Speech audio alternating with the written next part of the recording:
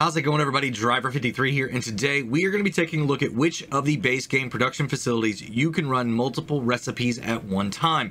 We've got all the uh, production facilities right here from base game that have the option to run multiple things. So let me go ahead and show you here on the menu exactly what I'm talking about.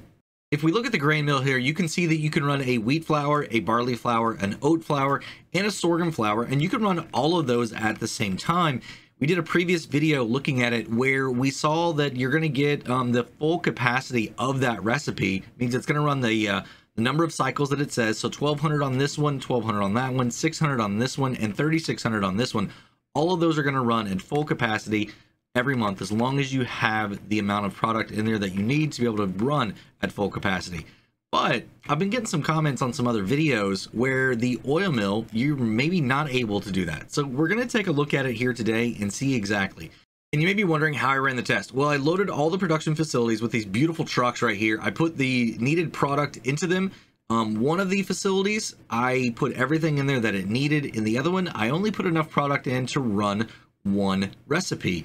Let's take the sugar mill, for example. What I did on this one is I've got all three ingredients for all three of the different recipes loaded in here. And on the other one, I only have sugar beets.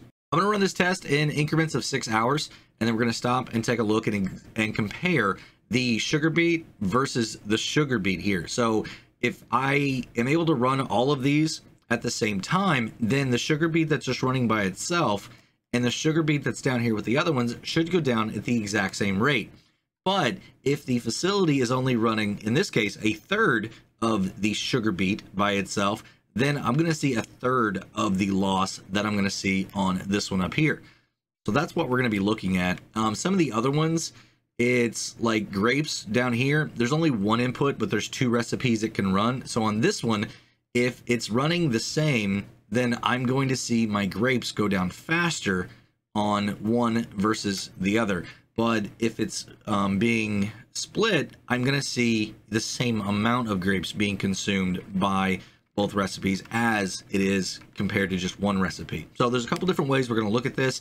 We'll get into that once we start looking at um, the results. Like I said, we're going to go six hours at a time. We'll come back, look at another six hours because some of these don't use very much. So with the amount that we have in there, it's kind of hard to tell exactly what's going on if it looks like it's a third or a half. So I'm going to go ahead now. It's uh, almost 12 o'clock in the day. I'm going to go ahead and turn these on. So now I get a speed up time for six hours. I'll come back and show you guys the results. All right, it is now six o'clock in the evening. You can see up at the clock, it says 1800. And this facility right here, you can see that we only have three pallets sitting outside. But over here at the other grain mill, I've got six. So let's go ahead and look at the uh, the data here really quick, just to confirm what we had from our first video that we ran. Here we have our wheat, and as you can see, we still have 245,479 liters.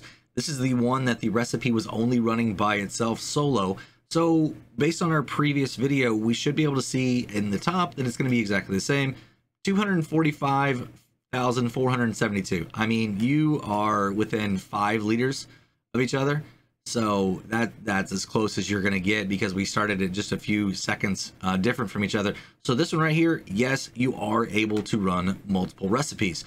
Let's go down here to the oil mill now. And if I look here at this one, we can see that we are at sunflowers, 143,195. And I come down to this one and it's only 141,586. So that's interesting. It's used more but it's it's still kind of close, right? We're within a couple couple thousand liters. I mean, you can kind of see on the bar there how this one here has used quite a bit more than this one. So I do believe that here on the oil mill that it um, is going to split it into thirds or however many you have. It's going to separate it out and throttle back those recipes. So very interesting there on the oil mill. Now, if we take a look here at the sugar mill, you can see that for sugar beets, we have 243,961, and I come down here, 243,946. So you're you're really close. I mean, you're within 20 liters there. So I feel like this one, the sugar mill, you are able to run multiple recipes at once. So next, let's go to the bakery. And here we can see that we're at 6,903 liters on all of the other uh, products that you need for your cake. And if we come down to the other one, it's the exact same. So what that means is because on this top one we had bread running also, this one is going to output bread and cakes at the same rate, at full capacity, as compared to just running cakes by itself. Next we have the spinnery here. You can see that on the wool we have 44,637. And if I come down to the other one, it's 44,274. Now this is one that I'm going to run a little bit longer because we have a 200 liter difference, roughly 150. Um, I want to run this one for at least another six hours, so we're going to come back and take a look at this one. But then down here on the dairy, um, we wanted to take a look at our chocolate. So the sugar, we have 35,798. And on this one here, we have 35,395. So it is, it is a little bit of a difference. I, I definitely can see that. Um, we're to probably run this one for another uh, six hours also. And then down here on the carpentry, our planks, 17,697 versus 17,848. So it's pretty close, but I, I definitely want to run another uh, six hours on this one. And then raisins, you can see that we're at 88, 368 and 88, 367. So the grape processing unit, it looks like you're gonna be able to run both recipes. Um, well, it's actually gonna throttle back. So that's what that means. On this one here, because it's using the same amount with two recipes versus one recipe, it is going to reduce that one down also. So let's run these for another six hours, and um, we'll be back and take a look at those ones that were really close on time. All right, it is just now a little bit after midnight, so another six hours have passed. You can see here at our raisin or the grape processing unit, you can see that we now have four pallets, but three of them are the grape juice. And then we come over here to the other side, you can see that we have three pallets here. So if these were running at the same, then I would think that you would have um, at least one more um, of the raisin pallets over on the other side. But let's jump into the menu here and take a look and be for sure. Once again, we're down here, 86,745. And yeah, this is 86,742. So this one right here is splitting it in half whenever you run two different ones. So it does throttle it back. You are not going to be able to run multiple um, at the same capacity. On our furniture here, you can see on the planks, we are setting at 17,698. And on this one up here, 17,396. So it's not, I mean, you can see the different values there that the bar has moved. Um, it's quite a bit. So this one also, the carpentry, you are not able to run them at max capacity if you have more than one turned on. On our dairy right here, you can see the sugar is at 34,794 and up here 35,597. So the same thing is happening at the dairy. It is splitting it up between them. Really interesting here on these. With the spinnery here, you can see that we are at 43,551 and up here we are at 44,275. So once again, you can see that it's basically half um, the amount that has been used um, whenever you're running multiple recipes versus just a single recipe. For the bakery here, you can see that we are at 6806 for all the other items, and this one here, 6806, the exact same. So yeah, once again, confirmed this one here, the bakery, you are able to run both recipes at the same time at max production.